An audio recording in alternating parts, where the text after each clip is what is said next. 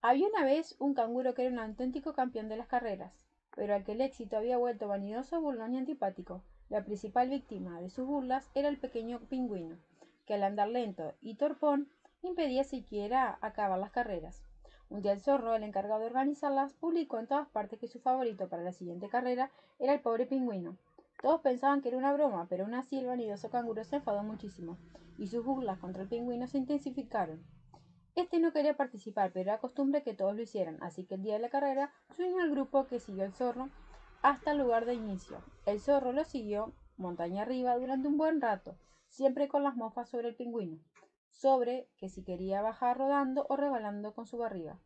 Pero cuando llegaron a la cima, todos callaron. La cima de la montaña era un cráter que había rellenado un gran lago. Entonces el gran zorro le dio la señal de salida diciendo, la carrera es cruzar hasta el otro lado. El pingüino, emocionado, corrió torpemente a la orilla, pero una vez en el agua su velocidad era insuperable y ganó con una gran diferencia, mientras que el canguro apenas consiguió llegar a la otra orilla, lloró humillado y medio ahogado. Y aunque parecía que el pingüino le esperaba para devolverle las burlas, éste había aprendido que su sufrimiento y en lugar de devolvérselas se ofreció a enseñarle a nadar.